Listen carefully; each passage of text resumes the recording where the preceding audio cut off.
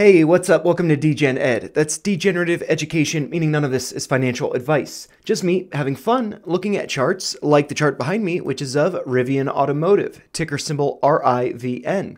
And so I wanted to do a follow up on last week's video because we closed at a pretty significant price closing on Thursday, January 25th, at a price of $15. And so in last week's video, I had noted basically because of the convergence of all of these levels, that $15 seemed like it would be a pretty significant level. And as long as we could hold it, we might be finding a bottom. And so I just kind of wanted to go over my thoughts on whether or not uh, we will be forming a bottom soon and some signs uh, to kind of tell us that in the coming days. And so uh, I did go over all of these levels in last week's video, and I also tried to clean up the chart so it looks a little bit uh, uh, crisper so you can see these levels uh, identified pretty clearly. Uh, so the first level is 1560, uh, which when I made the video last week, that was on January 18th, and the uh, price on the day did dip below 1560 but closed above at 1574. So I was thinking that might serve as support.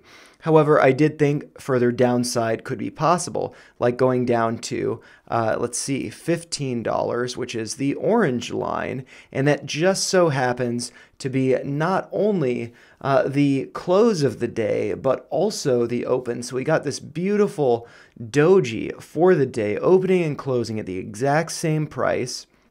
And uh, this could suggest a reversal, that there's some indecision and that the bottom could be in or nearly in. And so I am hoping that we start to see a reversal, but I do think that the close for tomorrow, Friday, January 26th, could be telling in whether or not we continue to the downside or if we start to find a bottom. And so another level that I went over in last week's video is the thin white line, and that is based on this Fibonacci retracement going from the low of April 26th to the high of July 27th. And so that Fibonacci level is the 786, and that is at a price of $15.19. So just between the orange and yellow lines. So another level of significance right around there. And uh, yeah, and then I also found this uptrending red line uh, based on the lows over here, these two pivot points you can see circled in blue there. And uh, we did actually dip below that today, hitting a low of $14.59.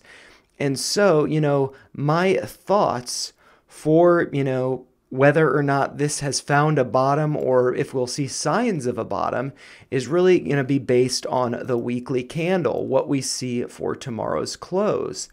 And so, what I would like to see, what I would think suggests we may be finding a bottom, of course, I could be wrong, is if we get a close above right around $14.70 because that does appear to be kind of like the convergence of, you know, where the price would be with that red uptrending line. So as long as we can close above 1470 or here where the cursor is 1472, I think that could be good because this inverted hammer candle that we're seeing or starting to see for the week could suggest a reversal. Just like up here, we saw this inverted hammer candle and this inverted doji cross. Uh, that would be a, uh, let's see, a hangman cross, I believe, or a, a gravestone cross. I believe that's a gravestone cross. Those suggested a reversal. And down here, that would suggest a reversal as well. So if we do get a close above 1470, ideally if we get a close above $15 or especially 1560, that could suggest that we are starting to form a bottom. However, that could also suggest that we are starting to form a bear flag. So I think it's good to be cautious of that. I am not the best at identifying or distinguishing between bearish and bullish consolidation. Uh, so I do think that is something good to consider and be uh, aware of. And also, I do want to note something on the other side of that. While there might be bearish consolidation, I do see something that is quite bullish. I think Ed might be blocking it, so I'm just going to move it. Uh, and so, based on the low back here when we hit $11.68, we see an RSI above 30. And now we see a higher price with an RSI below 30. The current RSI is 27.8. And so that is bullish divergence suggesting that the price could be going higher. We could be at a bottom or near it. But if not, if we do break below and close the week below 1470, I could see us doing a full retrace down to right around $11 or more precisely 1168. So do be cautious of that. Pay attention to the close tomorrow and see how the stock is trading. If it does seem to have some strength, if we do start to see a pickup on some volume, that could suggest we are going to start to see a reversal back to the upside, potentially to fill these gaps up here around $23. So that could be great. But, you know, those are just my thoughts. If you found them helpful, make sure you like the video, share your thoughts in the comments down below, and subscribe to the channel for more videos like this. Thanks a lot for watching.